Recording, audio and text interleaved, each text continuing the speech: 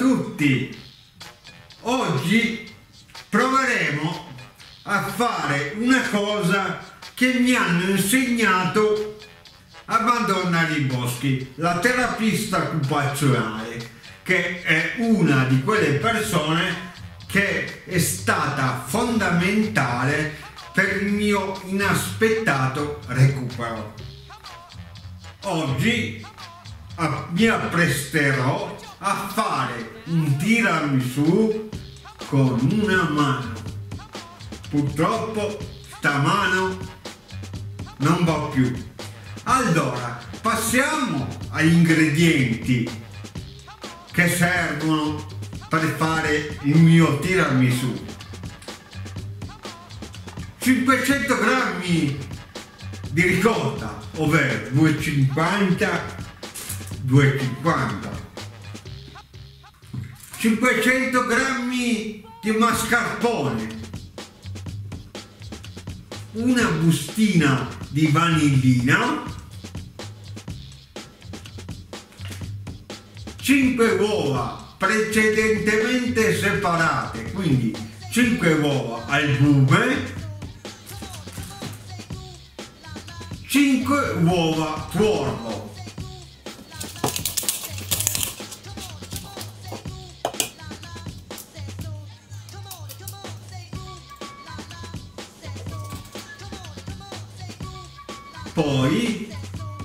5 caffè precedentemente preparati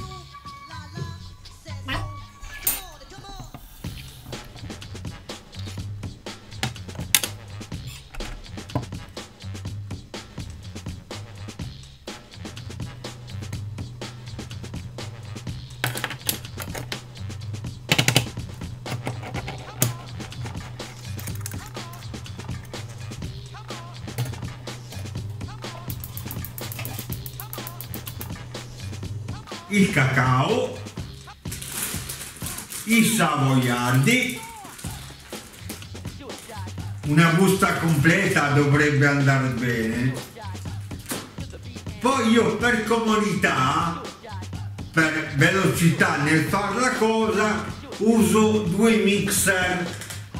Perché due mixer? In uno andrò a montare poi dopo il bianco dell'uovo a neve. Piccolo consiglio, per montare l'uovo, l'albume dell'uovo, ci metteremo dentro un pizzichino di sale. Come vedete, un pizzichino di sale per poi andarlo a montare.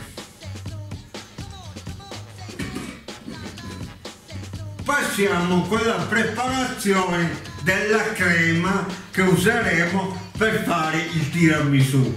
Allora, il bianco lo monteremo a neve qua dentro. Qua dentro invece monteremo il resto.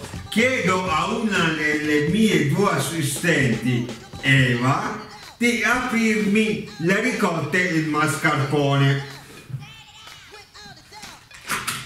verso rosso dell'uovo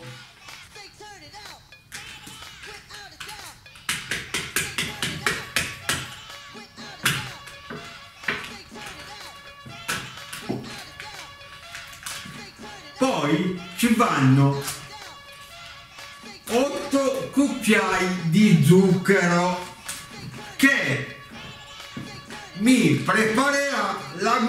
assistente Viola. Vieni qua Viola per favore.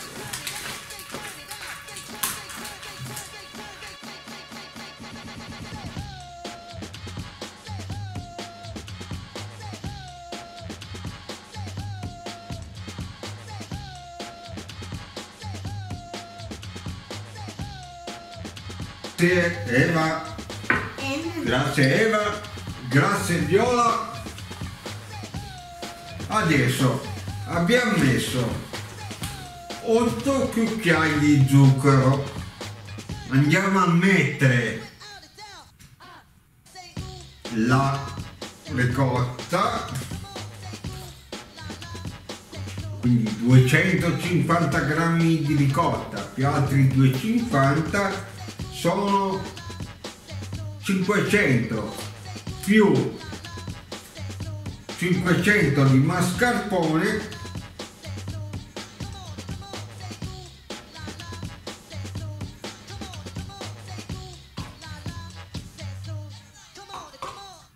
Una volta versati gli ingredienti va il tutto mixato e miscelerò tutto piano piano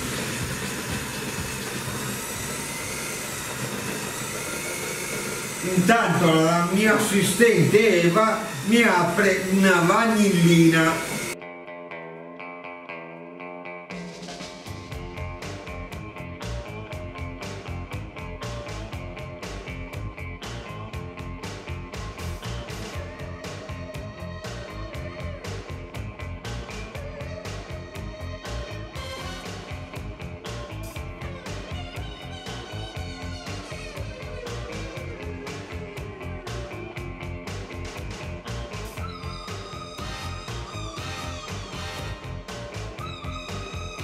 una volta amalgamato il preparato andiamo a montare la panna.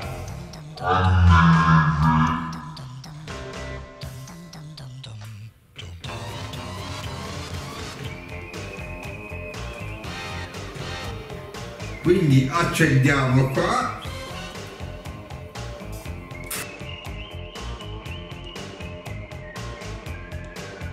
la andremo a versare. Sono tutti queste sono tutte cose che mi ingegno con un braccio eh.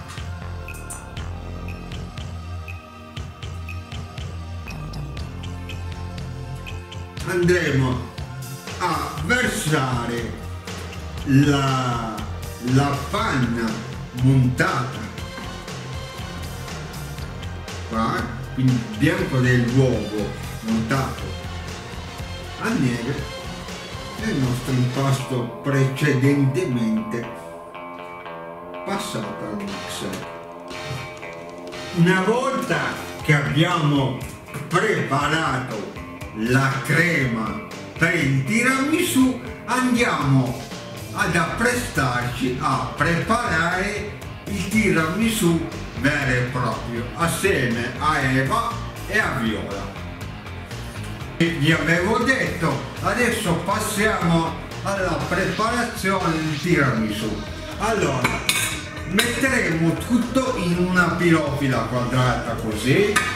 Allora, imbevi prima di tutto ci vanno 5 tazze, 5 macchinette di caffè precedentemente preparate dove andremo a, a bagnare i biscotti in tal caso i savoiardi e prepareremo il tiramisù. Adesso la mia assistente Eva si occuperà di aprire il primo pacco di savoiardi prenderemo un savoiardo, lo bagniamo nel caffè e poi lo mettiamo qua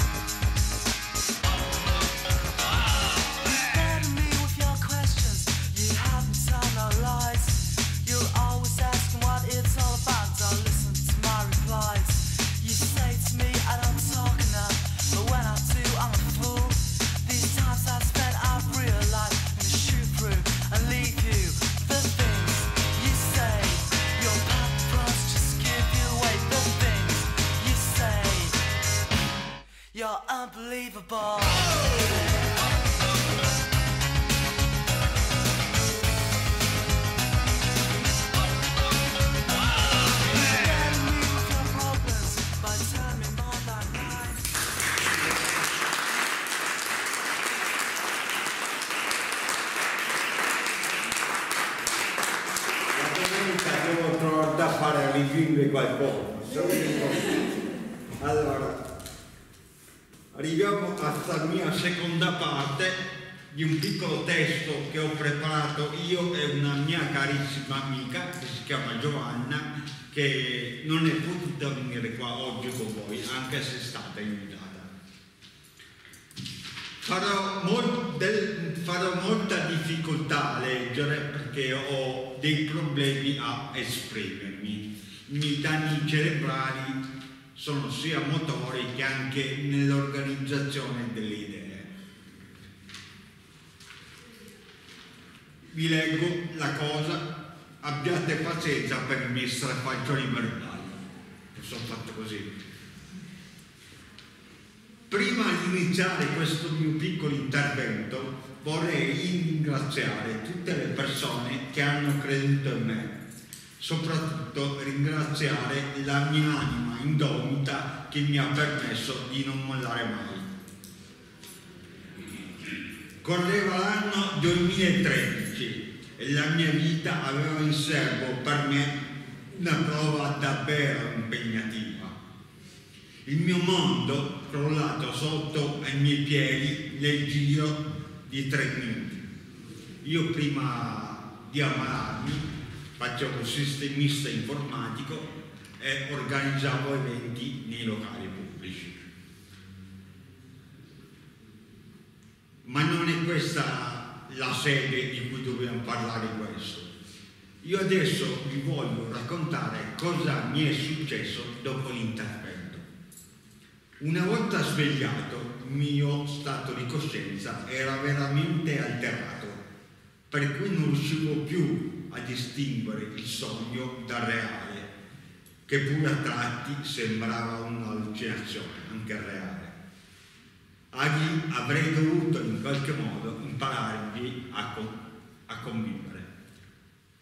L'unico ricordo che timido mi affiora è quello del CTO, quello che di me steso in un letto dove arrivava il professore di turno e spiegava ai suoi studenti cosa mi era stato fatto.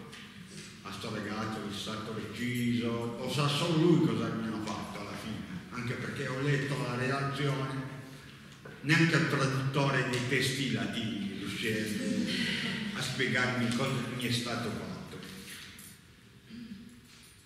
E io ero lì fermo, impassibile, non riuscivo a parlare, stordito, quasi alienato e sentivo sto tizio, dicevo, ma cosa stai dicendo? Ma cosa mi avete fatto? Eppure è una delle cose che sono ormai cinque anni che non mi tolgo dalla testa, quel benedetto professore che è entrato in reparto e ha detto ragazzo gli è stato fatto questo A, B e C, crudamente così, neanche curandosi forse di chi aveva davanti.